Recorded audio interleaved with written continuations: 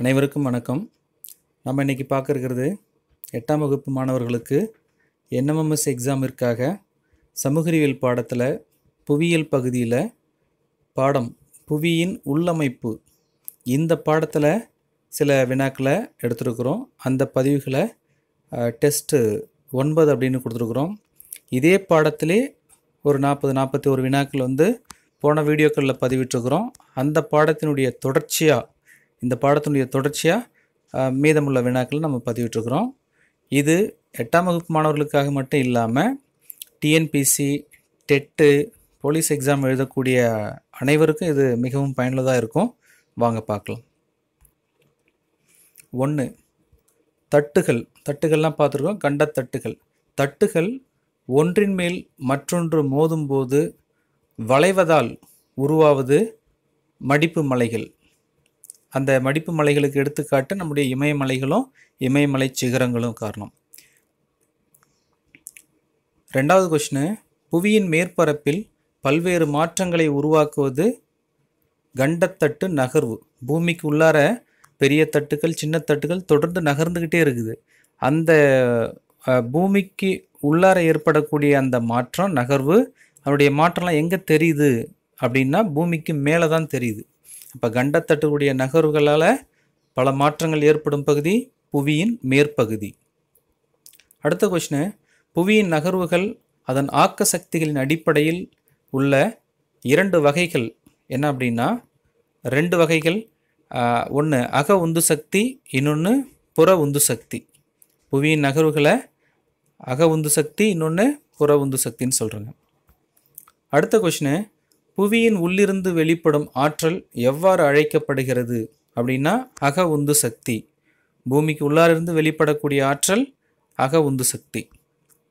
அடுத்த கொஷினு புவியின் வெளிப்புறத்திலிருந்து இயங்கும் சக்திகளை எவ்வாறு அழைக்கப்படுகின்றன? அப்படின்னா புற உந்து சக்தி. பூமிக்கு உள்ளாருந்து வெளிப்பட்டால் அது அக உந்து சக்தி. வெளியிலிருந்து அந்த சக்தி வெளிப்பட்டால் அது புற உந்து சக்தி. அடுத்த கொஷினு அக உந்து சக்திகளால் ஏற்படும் நகர்வுகள் எதிர்பாராத நகர்வுகள்னு சொல்லுவாங்க. அக உந்து சக்திகளால் ஏற்படும் நகர்வுகளுக்கு பேர் எதிர்பாராத நகர்வுகள். அடுத்த கொஷினு புற உந்து சக்திகளால் ஏற்படும் நகர்வுகள் மெதுவான வேகம் குறைந்த நகர்வுகளுக்குன்னு பேர். அக உந்து சக்திகளால் ஏற்படும் நகர்வுகள் எதிர்பாராத நகர்வுகள். புற உந்து சக்திகளால் ஏற்படும் நகர்வுகளுக்கு பேர் மெதுவான வேகம் குறைந்த நகர்வுகள். அடுத்த கொஷினு புவி மேலோட்டிற்கும் கவச மேலடுக்கிற்கும் இடையே உள்ள பகுதி மென்பாறை கோளம். மென்பாறை கோளம்.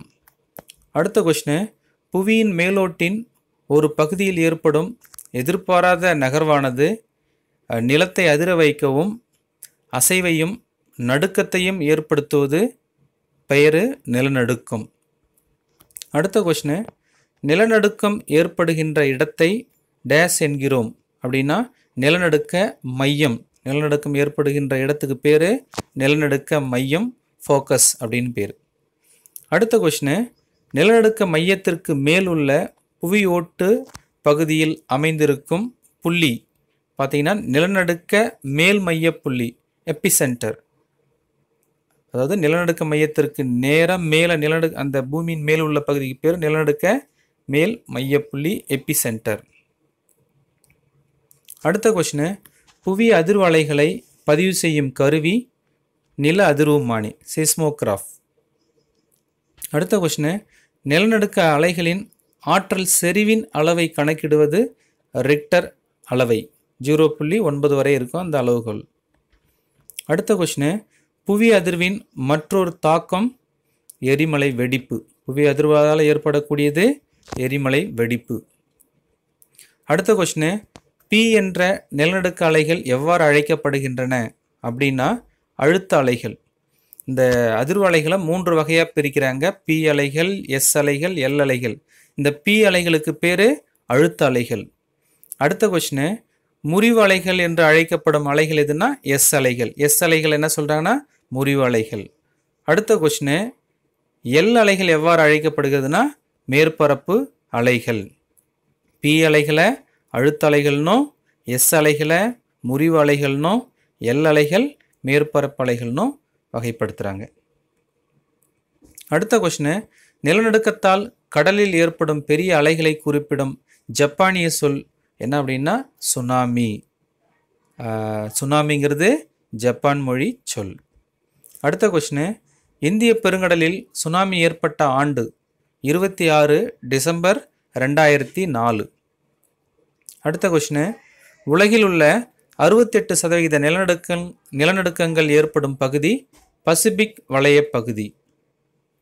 அடுத்த கொஷினு ஆசிய கண்டத்தில் உள்ள இமயமலை பகுதியிலும் வடமேற்கு சீனாவிலிருந்து மத்திய தரைக்கடல் பகுதி வரை ஏற்படும் நிலநடுக்கங்களின் சதவிகிதம் முப்பத்தி ஒரு சதவிகிதம். அதிகப்படியாக பசிபிக் பெருங்கடல் அறுபத்தெட்டு சதவிகிதமும் ஆசிய கண்டத்தில் இமயமலை பகுதியிலும் வடமேற்கு சீனாவிலிருந்து மத்திய தரைக்கடல் பகுதியிலும் ஏற்படக்கூடிய சதவிகிதம் முப்பத்தி ஒன்று அடுத்தது இந்தியாவின் நிலநடுக்க பகுதிகளாக கண்டறியப்பட்ட இடங்கள் அப்படின்னு பார்த்தீங்கன்னா இமயமலை கங்கை பிரம்மபுத்திரா பகுதிகள். அந்தமான் நிக்கோபார் தீவில் பேரன் ஐலண்ட் கூட இருக்குது அடுத்த கொஷினு ஆயிரத்தி தொள்ளாயிரத்தி தொண்ணூற்றி ஒன்றிலும் ஆயிரத்தி தொள்ளாயிரத்தி தொண்ணூற்றி ஒன்பதிலும் ஏற்பட்ட மிகப்பெரிய நிலநடுக்கங்கள் பகுதி இந்தியாவில் எங்கன்னா? வட இந்தியாவில் உத்தரகாசி சாமோலி. இது வட இந்தியாவில். அடுத்த கொஷினு ஆயிரத்தி தொள்ளாயிரத்தி அறுபத்தி ஆறிலும் ஆயிரத்தி தொள்ளாயிரத்தி தொண்ணூற்றி மூணிலும் தென்னிந்தியாவில் தக்காணத்தில் ஏற்பட்ட மிகப்பெரிய நிலநடுக்க பகுதிகள் எதுன்னா? கெய்னா இன்னொன்று லாத்தூர். அடுத்த கொஷினு புவியின் மேற்பரப்பில் உள்ள பிளவு அல்லது துளை வழியே வெப்பம் மிகுந்த மாக்மா என்னும் பாறைக்குழம்பு வெளியேறுவது எரிமலைன்னு பேர். பூமியின் மேற்பரப்பில் உள்ள பிளவு மேற்பரப்பில் பிளவு அல்லது துளை ஏற்படுது. அந்த துளை வழியாக பூமிக்கு உள்ளார இருக்கக்கூடிய வெப்பம் மிகுந்த பாறைக்குழம்பு அதுக்கு பேர் தான் மாக்மா. அது வெளியேறதுக்கு பேர் எரிமலை வெடிப்பு அல்லது எரிமலை அல்லது எரிமலை வெடிப்புன்னு சொல்லலாம். அடுத்த கொஷினு புவியின் ஆழ்பகுதியில் உள்ள வாயுக்கள் கலந்த திரவ நிலையில் உள்ள பாறை குழம்பு என்ன அப்படின்னா மாக்மா. அதனால் திரவ நிலையில் லிக்விடாக இருக்கக்கூடியது மாக்மா புவியின் மேற்பரப்பில் வரும்போது மாக்மா எவ்வாறு அழைக்கப்படுகிறதுனா லாவா அப்போ பூமிக்கு உள்ளார பாறை குழம்பு வெப்பம் மிகு வெப்பம் மிகுதியினால் பாறை உருகிய நிலையில் இருக்குது. அது துளை அல்லது பிளவு வழியாக மேலே வருது. மேலே வரும்போது அந்த அந்த துளை வழியாக வரும்போது மாக்மா அது பூமியின் மேற்பரப்பை வந்து அடையும் போது அதுக்கு லாவா அடுத்த கொஷினு எரிமலையின் திறப்பு அல்லது வாய்ப்பகுதி எவ்வாறு அழைக்கப்படுகிறதுனா துளை. எரிமலையின் திறப்பு அல்லது வாய்ப்பகுதிக்கு பேர் துளை. அடுத்த கொஷினு எரிமலை துளை வழியே வெளியேறும் லாவாவும் இதர பொருட்களும் காலப்போக்கில் துளைப்பகுதியை சுற்றி படிந்து ஓர் டேஸை உருவாக்குகிறது. அப்படின்னா கூம்பு வடிவ குன்று அல்லது மலையை உருவாக்குறது அந்த எரிமலை துளை வழியாக என்ன பண்ணுதுங்க? லாவா வெளியேறி வெளியேறி சுற்றி படிஞ்சு என்ன பண்ணிடுதுன்னா ஒரு கோன் ஷேப் ஒரு ஐஸ்கிரீம் ஷேப்பில் அந்த கூம்பு வடிவத்தில் அல்லது கூம்பு வடிவ குன்றாகவோ மலையாகவோ உருவாகுது.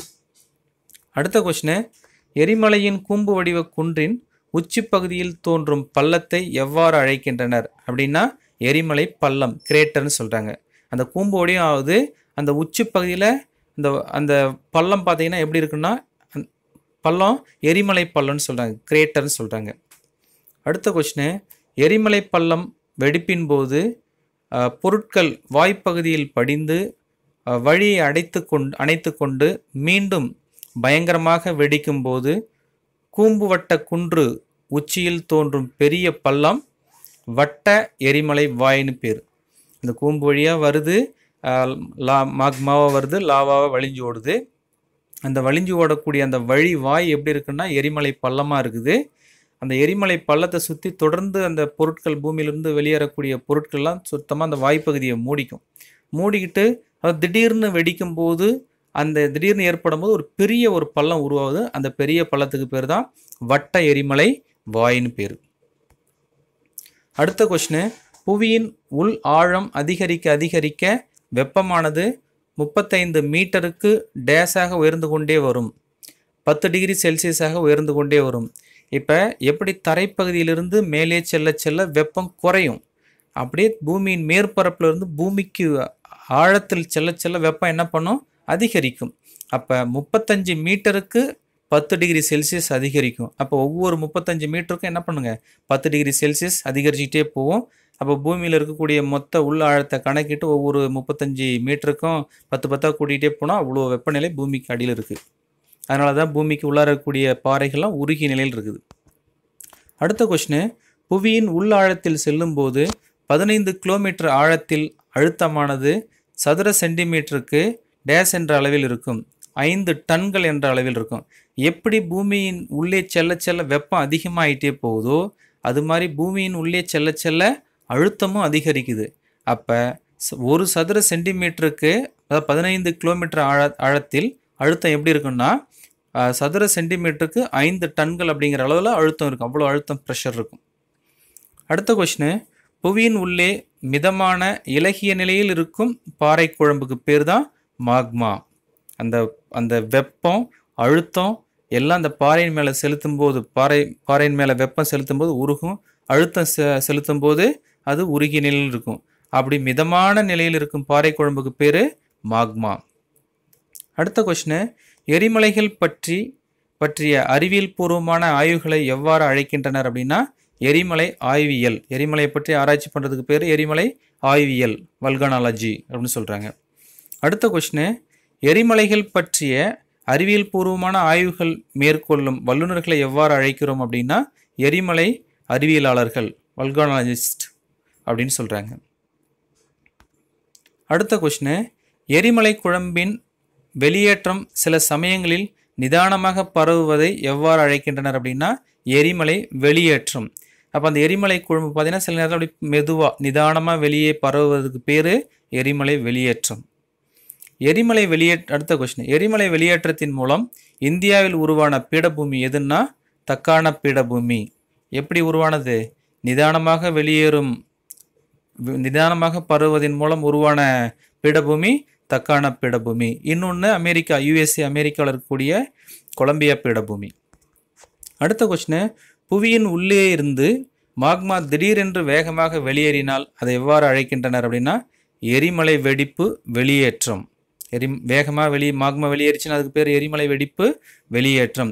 நிதானமாக பரவுவதற்கு பேர் எரிமலை வெளியேற்றம். இதே வேகமாக பரவ வெளியேறுவதற்கு பேர் எரிமலை வெடிப்பு வெளியேற்றம். அடுத்த கொஷினு எரிமலை வெடிப்பு வெளியேற்றத்திற்கு எடுத்துக்காட்டு இந்தோனேஷியாவின் தீவு கரகாட்டோவோ தீவு எரிமலை. இது எப்போ வெடிச்சதுன்னா ஆகஸ்ட் இருபத்தி ஏழு ஆயிரத்தி எட்நூற்றி எண்பத்தி மூணில் மிகப்பெரிய ஒரு எரிமலை வெடிப்பு இந்த இந்தோனேஷியாவில் கரகாட்டோவோ தீவில் இந்த எரிமலை வெடித்தது அடுத்த கொஷினு லாவா திரவத்தின் ஓட்டத்திற்கு அதில் உள்ள இரண்டு காரணங்கள் என்ன அப்படின்னா அந்த லா அந்த திரவ ஓட்டத்துக்கு அதில் இருக்கக்கூடிய ரெண்டு மிக முக்கியமான காரணம் ஒன்று அதில் இருக்கக்கூடிய சிலிக்காவினுடைய அளவும் நீரினுடைய அளவும் தான். அதனுடைய திரவமாக இருக்குதா இல்லை ரொம்ப லிக்விடாக இருக்குதா அதை பொறுத்து மாறும். அடுத்த கொஷினு சிலிக்கா அதிகம் உள்ள லாவா டேஸ் மெதுவாகவும் சிலிக்கா குறைவாக உள்ள லாவா டேஸ் வேகமாகவும் பரவுகிறது பரவுகிறது பரவுகின்றன. சிலிக்கா அதிகமாக இருந்தால் அந்த லாவாவுக்கு பேர் அமில லாவா. சிலிக்கா குறைவாக இருந்துச்சுன்னா அதுக்கு பேர் கார லாவா. அமில லாவா மெதுவாக பரவும். கார லாவா வேகமாக பரவும். அடுத்த கொஷினு இந்தியாவில் அந்தமானில் உள்ள எரிமலைக்கு பேர் பார்த்தீங்கன்னா பேரன் தீவு பேரன் ஐலண்ட். இது கடைசியாக எப்போ வெடிச்சுன்னா ரெண்டாயிரத்தி பதினேழில் வெடிச்சது.